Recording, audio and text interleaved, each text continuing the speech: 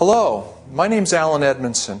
I've been an orthopedic physical therapist for the last 25 years. In this DVD, I have the opportunity to share with you some of the knowledge I've gained during the practice with my patients.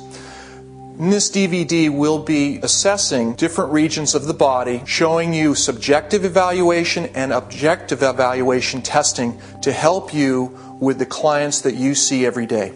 First, we'll start with subjective evaluation. We'll give you general questions and then specific questions for each region of the body.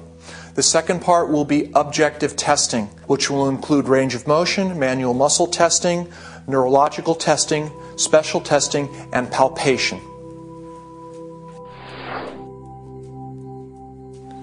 An important part of any initial evaluation process is the subjective. In this part, you gather as much information as you can from the patients verbally, past and present medical history included, including their age, um, their gender, their, the type of injury, how long the injury has been present, and the location of symptoms. Next, we look at active range of motion of the joint and observing how the patient moves that joint with their own muscles to get information of range of motion, of, of gentle strength, of the patient's ability to move the joint through space. And this is specific for each region. Then we'll look at passive range of motion, in which the examiner will move the joint through space. Passive range of motion looks specifically at joint mobility testing and the end feel of that joint. When you bring a joint to its end range, does it have the normal end feel specific to that joint? And is there pain involved at the end of those motions? So, passive range of motion looks specifically at joint structures and stability.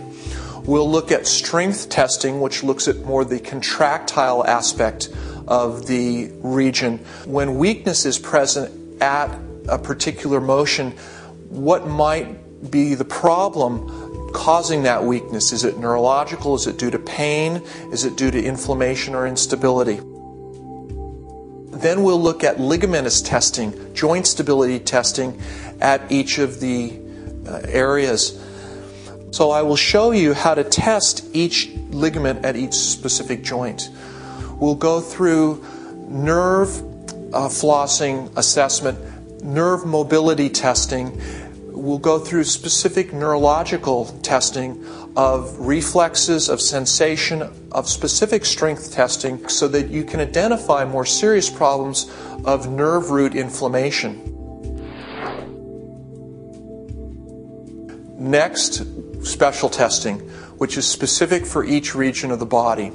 These special tests will uh, tell us more specific information when trying to decide exactly what the problem is in our assessment. And then, in conclusion, we'll finish with the palpation portion of the evaluation.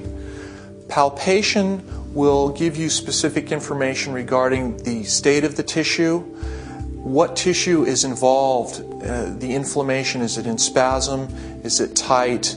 Uh, I do this at the end because it doesn't cloud my overall assessment. If I go straight to palpation, I may miss something that is significant in another region of the body.